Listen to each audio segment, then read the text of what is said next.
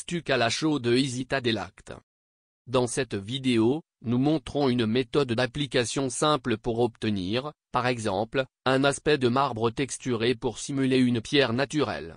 Ce stuc convient à toutes les techniques et permet de créer toutes sortes de finitions, pour intérieur et extérieur, car il est extrêmement résistant. Ce stuc est respirant, lavable et imperméable. Nous avons d'abord retiré une petite quantité de stuc du cube et l'avons mélangé grossièrement avec un pigment en poudre.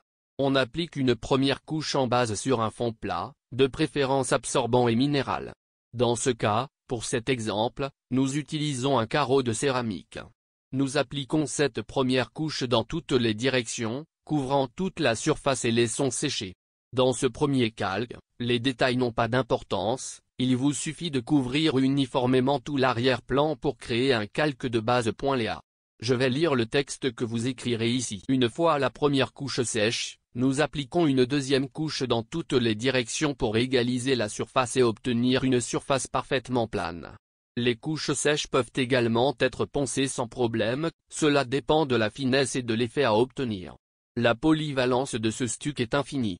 L'important est de travailler sur au moins deux calques de fond. Nous laissons également sécher cette seconde couche.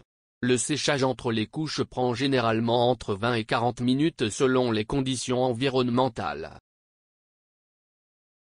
Maintenant, nous appliquons une troisième couche dans laquelle nous allons créer l'effet souhaité. On ne laisse sécher cette couche que quelques minutes et on la lisse un peu avec le bord de la truelle à stuc sans trop appuyer, avant de continuer à appliquer l'effet désiré. Les effets de finition sont appliqués mouillé sur mouillé. Dans ce cas, nous appliquons du stuc non coloré avec une éponge et un pinceau pour créer un effet marbré. Dans cette phase, nous pouvons créer librement les effets auxquels nous pouvons penser, ou même ajouter plusieurs couleurs ou effets différents. Lorsque nous avons fini de créer l'effet désiré, nous pouvons commencer le lissage. Afin de ne pas créer trop de relief, ne laissez pas passer trop de temps avant de lisser le motif. Lors du lissage, n'appliquez pas trop de pression et ne passez pas trop de fois sur la même zone. Si nous sommes satisfaits de l'effet, nous pouvons maintenant laisser le stuc sécher complètement pour appliquer une cire.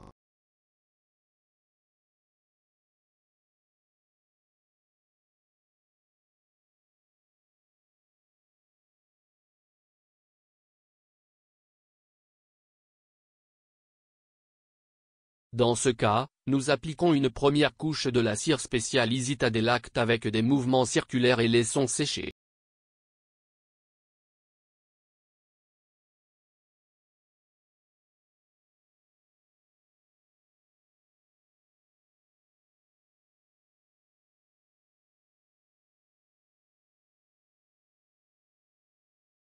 Ensuite, nous enlevons la couche sèche avec un chiffon doux et appliquons une deuxième couche de cire.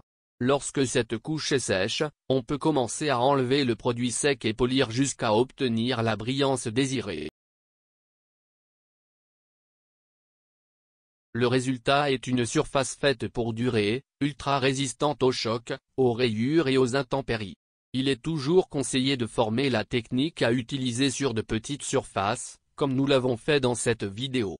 Eh bien, maintenant, plus rien ne peut arrêter votre créativité.